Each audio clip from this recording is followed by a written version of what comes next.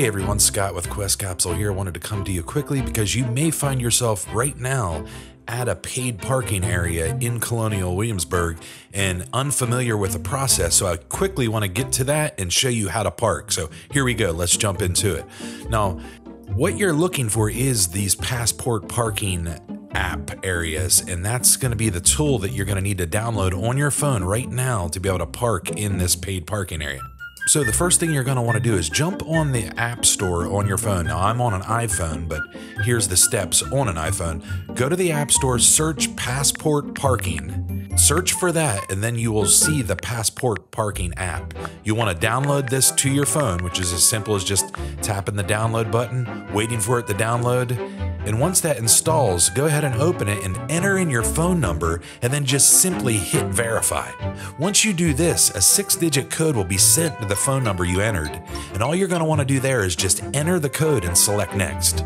It's going to prompt you to enter a four digit PIN number and you'll do this once and you'll hit the create button and then it'll ask you to confirm it again. So just plug it in again, confirm, and then you're in. So now you're in the app, you're ready to go. Just accept the terms and conditions to continue. It's going to ask you to accept the location. What you want to do to make sure you're speaking to the right location there in downtown CW. And once once that's settled in, you're all set. It's it's just that simple. So now the next thing up is just going to be simply to enter the zone number for the associated parking lot you're in. And you'll do this by selecting a new session there at the bottom. So click the blue new session button and then within the parking area you're in, look for that sign with the passport parking app icon. And there'll be a zone number that you're going to want to add in here. And here's an example of what that zone number would look like from me and Sarah's trip to downtown Colonial Williamsburg. So just plug in that zone number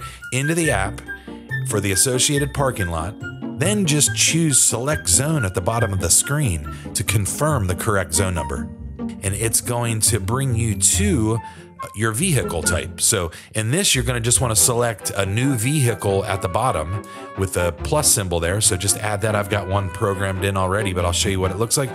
Plug in the new vehicle, and you're just going to do this by simply adding in your license plate number.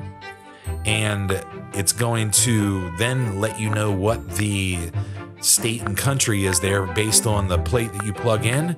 And you're going to also want to give that car a a nickname. So if you park somewhere else or, you know, another day you're parking down at CW, you already have that loaded in and you can just simply select that.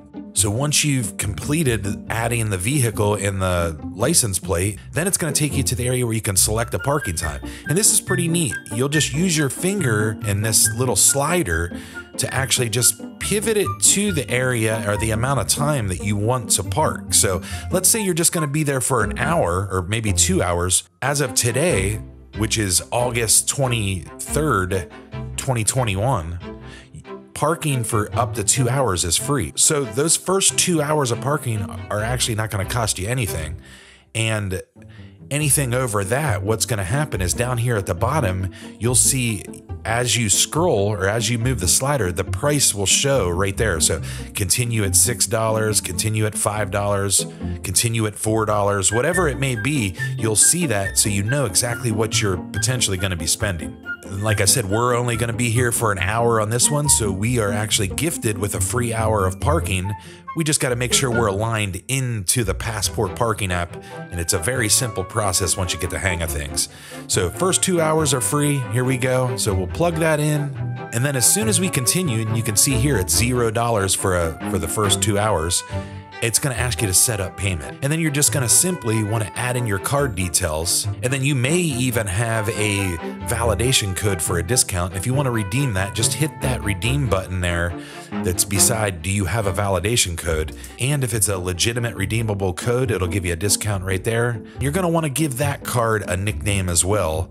And this is just for easy access the next time you may park in Colonial Williamsburg. You'll have that already preloaded and you can just select that card. Once all your card information is added, you'll just save that card. And as soon as you do that, it's going to take you back to the active session screen And there you're going to see when your parking ends. And for us, you know, we're we're allowed to park there till 11:54 a.m. and it gives me the parking ends in 58 minutes as you, as seen on the screen here.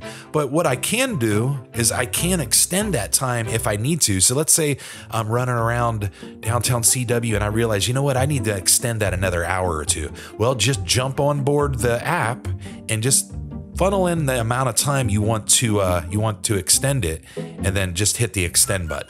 And of course, that's going to add additional time, which may add additional cost that will be applied to the card that you've already entered in. But it's as simple as that, and it's a it's a nifty little app and if you go to the icon on the top right, you can access your account information, and on there you can find your profile information, which just gives you your first and last name. You also have your parking history, which will show you previous uh, purchases, previous uh, parking you've uh, you've already paid for. There's a list of your payment cards. You might have one or even more payment methods in there. It gives you a list of your vehicles you've inputted. You can store that in the vehicles section there every time you add a new vehicle.